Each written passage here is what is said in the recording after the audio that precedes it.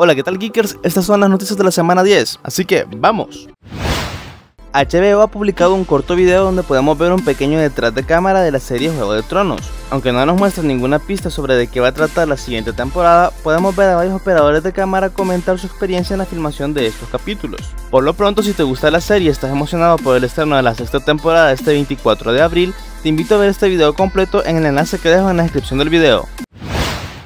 La realidad virtual llega a tu cajita feliz. McDonald's comenzará un plan piloto para integrar los lentes de realidad virtual en tu cajita feliz similares a los de Google. Aparte de las gafas, McDonald's está creando un juego de esquí con el que podrás usar las gafas y deberás de esquivar banderines, otros esquiadores y entre otros obstáculos. Por el momento, la cajita feliz con realidad virtual solo estará disponible en Suecia, pero esperamos que todo resulte bien y llegue a otros países. Sin duda será la cajita más vendida.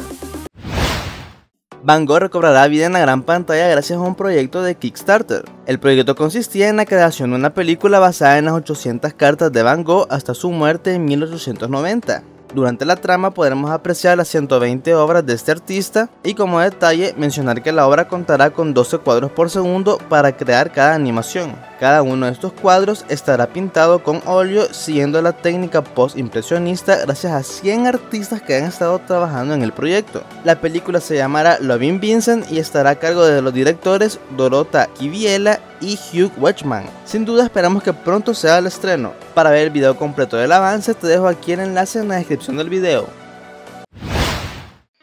Si alguna vez soñaste con trabajar en Netflix durante la semana, este sueño pudo haberse convertido en realidad. Netflix estuvo buscando su próximo Grand Master encargado de viajar a los sets de filmación de sus shows más populares, películas y series originales de Netflix durante dos semanas. El Grand Master debía de fotografiar todo lo que viera para poder compartir con la comunidad de Netflix todo lo que hacía Netflix en los sets de filmación. Este duro trabajo incluía un pago de 2 mil dólares y 6 meses de Netflix gratis. Todo esto sin incluir los gastos de viaje, y demás que Netflix iba a cubrir. Lastimosamente el concurso ya terminó y por el momento se encuentran seleccionando a los finalistas. Si quieres ver el comunicado de Netflix sobre el concurso, llorar un rato y ver las fotografías de los participantes en Instagram, te invito a que entres en el enlace que está en la descripción.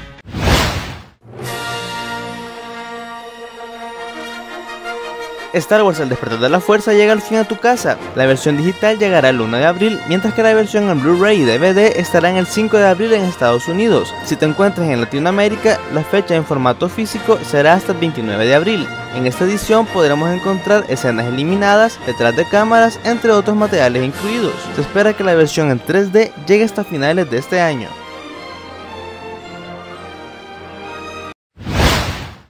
En un video anterior les comenté sobre águilas que atrapan drones en Holanda. En esta oportunidad, la empresa Skywall ha presentado una bazooka antidrones. Su aspecto es como de película futurista y su misión será disparar una red para neutralizar los drones. Cuenta con una mira para realizar un tiro limpio y podrás rastrear la red con el dron gracias al GPS integrado y de esta manera revisar el contenido del mismo. Pese que los drones se han convertido en una genial herramienta para pasar el tiempo entre otras actividades, hay personas que utilizan para espiar y hacer cosas no muy legales.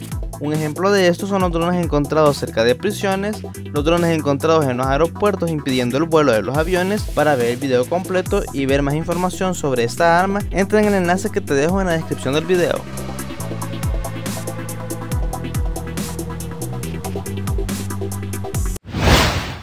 Apple llega a Twitter con su nueva cuenta de atención al cliente. En esta cuenta pretenden mostrarnos trucos para saber cómo usar nuestros productos Apple y aparte responder dudas de los clientes con una mayor velocidad. Lastimosamente el servicio de ayuda solo se encuentra en inglés y realmente no sabemos si llegará a otro idioma. En fin, si quieres preguntarle algo a Apple, te dejo el enlace en la descripción del video.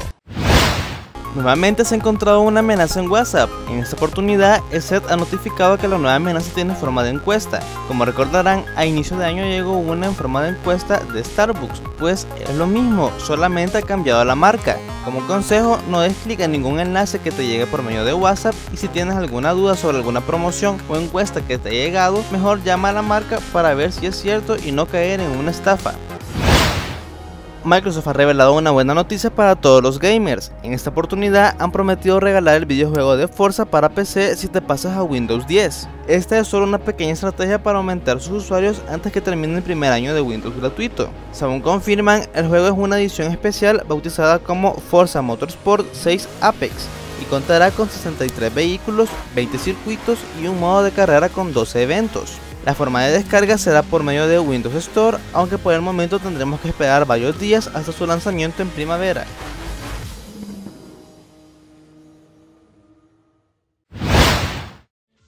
Muchas gracias por ver este video, recuerda que en la parte de información están los enlaces útiles relacionados a las noticias. Igualmente si te gustó dale dedito arriba, compártelo y únete a mis redes sociales. Les deseo una feliz semana, bendiciones y saludos.